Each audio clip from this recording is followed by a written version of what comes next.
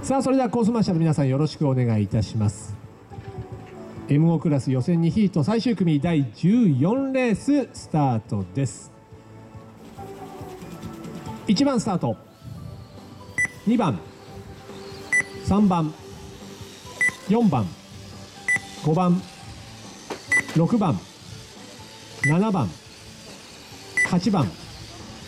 9番。10番。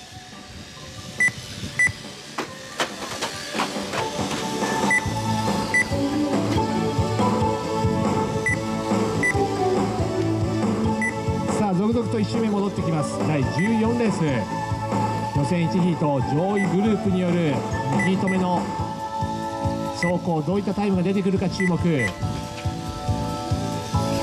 さあまずはカーナンバー1番島崎隼人選手。2周を32秒99のタイムで通過。さあ続くのが MS ネーション代表鈴木拓也選手カーナンバー3番。あここで MS ネーション代表鈴木拓也選手が3周目の通過カウントでトップに躍り出ます。そして3番手に TRF 前住選手。そしてゼスト代表高山選手カーナンバー7番と続く。さあ現在トップカウントはカーナンバー3番ですね。MS ネーション代表鈴木拓也選手。ホワイトとオレンジのカラーリング。ミニクーパーそしてブルーのカラーリング入ってますね。ブラックのホイール。さあこれからバックストレート。そして島崎選手はオレンジとグリーンチャージマスターカラーのミニクーパー今コントロールラインを通過。島崎選手が現在2番手。そしてご存知ブルーピンクのカラーリング TRF 前住選手が現在3番手カウントとなっています。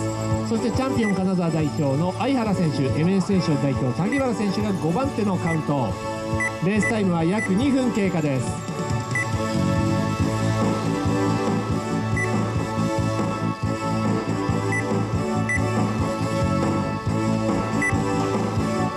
あ各所でマシンが激しく横転しているが大丈夫でしょうか？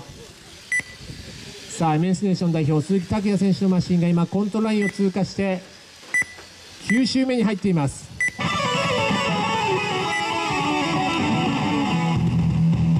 さあ今ヘアピンセクションからコントラインを通過。これで10周目に突入。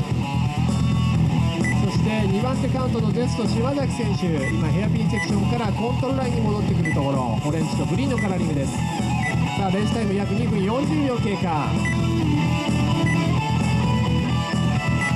さあここで10周のカウントでは島崎選手が前に出た。そしてコンマ1秒差で鈴木拓也選手というカウント。そして3番手に TRF 前住選手。そしてゼスト高山選手と続く。1番3番2番7番4番トップ5さあレースタイム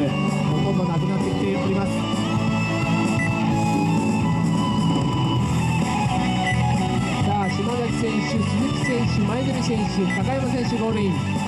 柿原選手、奥山選手、相原選手もゴールイン。さあそして木村選手、鈴木選手ゴールして全車ゴールインとなります。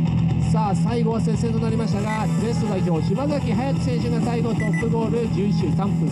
3秒でゴールインです。そして MS ネーション代表鈴木拓也選手 TRF 前住選手ゼスト高山選手 MS ネーション崎原選手サム代表岡山奥山選手に続いて全車ゴールインです。こちらも全車10あ鈴木選手までが11周でゴール。さあこれで M5 クラス予選2ヒート目全レース終了となります。